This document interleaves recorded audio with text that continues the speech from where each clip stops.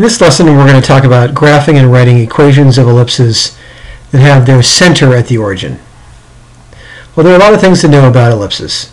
So let's talk about all of the different points or important points in a vertex.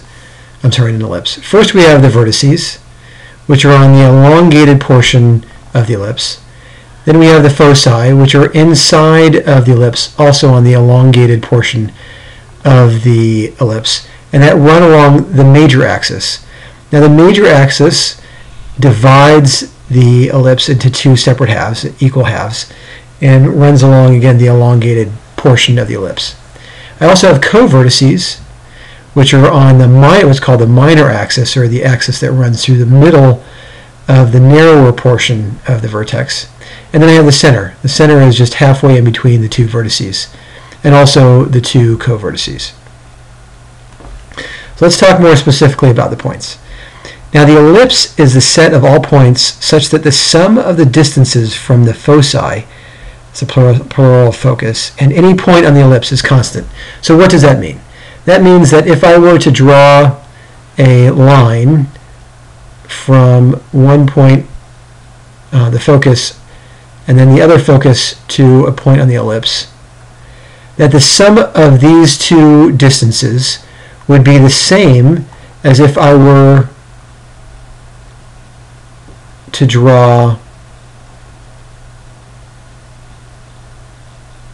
a line here.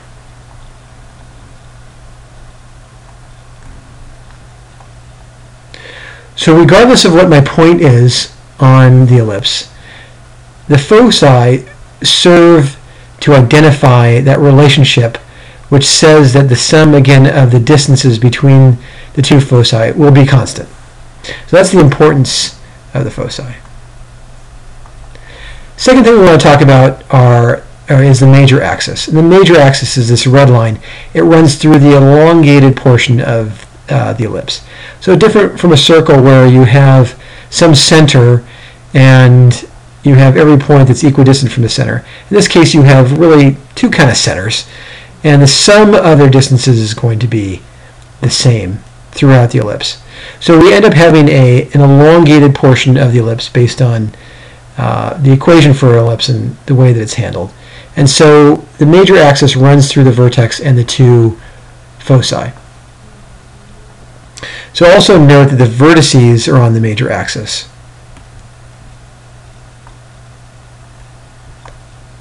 The minor axis is a segment that crosses the, the line that crosses the narrower portion of the ellipse and runs through the co-vertices.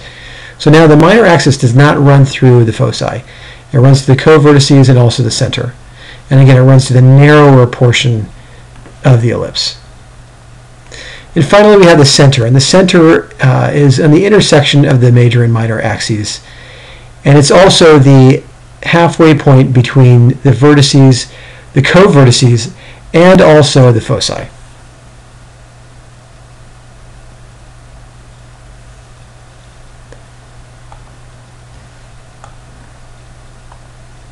Okay, so let's talk about how we're going to write an equation for an ellipse and what it would look like.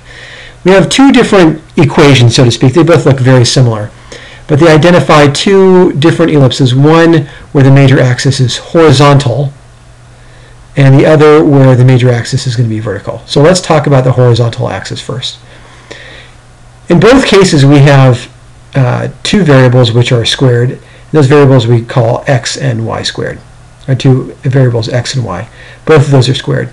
Now what changes the ellipse is whether or not the a value, which is the actually just the distance, it identifies the distance of the vertex from the center, whether the a value is underneath the x or the y value.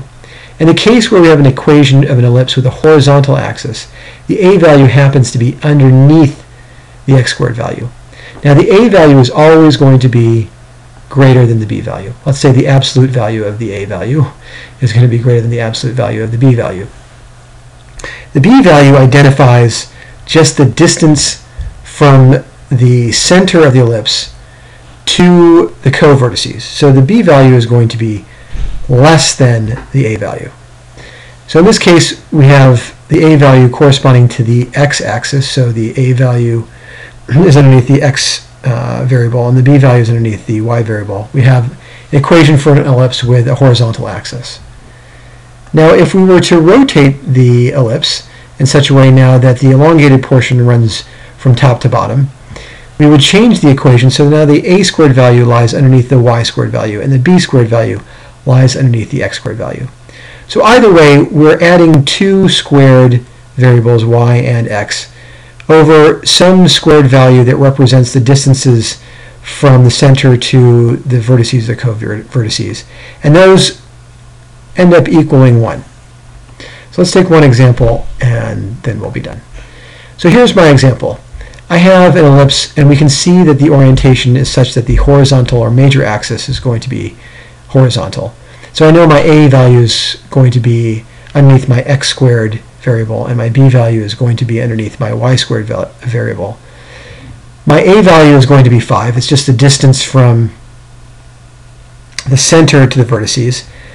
And my b value is going to be 3, just again the distance from the center to the co-vertices.